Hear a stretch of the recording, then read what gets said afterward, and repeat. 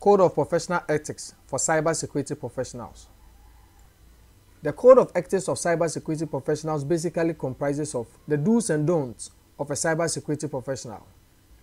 But for the purpose of our lesson, we will only highlight on five key code of ethics of a cybersecurity professional. First on our list is the observance, the maintenance and the enforcement of the goals of cybersecurity. That is, the goal of confidentiality, the goal of integrity, and the goal of availability, all of which we covered in lesson 9. This particular code of ethics means that as a cybersecurity professional, you ought to maintain the privacy, the integrity, availability, and confidentiality of information and data in your cyberspace unless a disclosure is required by a legal authority. Another code of ethics that all cybersecurity professionals ought to observe is the performance of their duties with objectivity, due diligence, and professionalism. As a cybersecurity professional, the services you provide must be diligent in meeting the objectivity of your employer.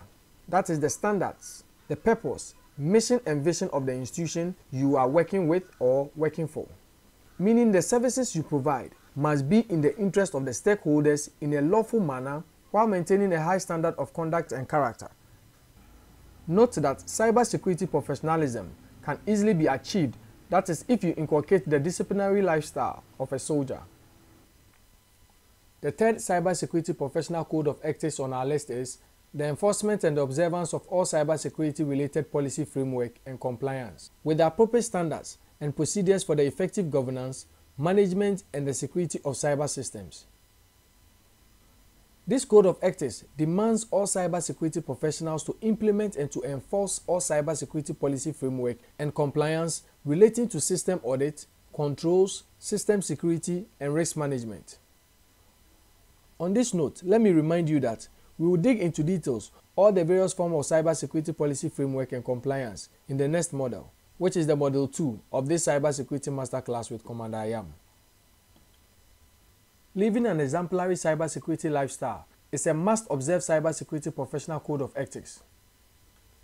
Being vulnerable to cybersecurity threats, vulnerabilities, and cybersecurity adversaries as a cybersecurity professional means that all cyber devices under your domain or under your control are equally prone to the same cybersecurity threats, vulnerabilities, and cyber adversaries attacking you as a cybersecurity professional.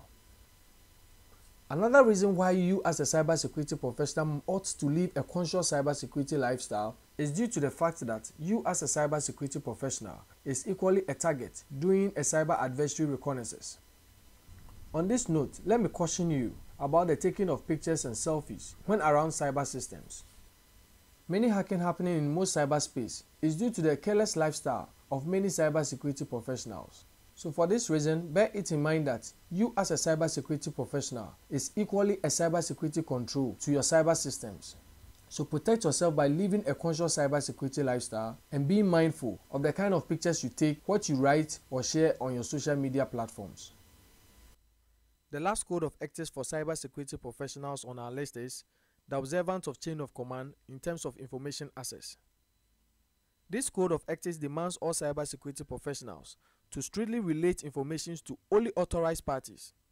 Informations like reports of work performed, significant facts when not disclosed may distort cyber systems, the operational cyberspace, and the business operations. So, as a cybersecurity professional, you ought to know who and the type of information to allow access to. So, it's very important to know the structure of data ownership and its management. But in order to observe and to identify the chain of command in terms of information access, you as a cybersecurity professional must know the structure of data ownership and its management, which will be the next and our last lesson of Model 1. See you in Lesson 11.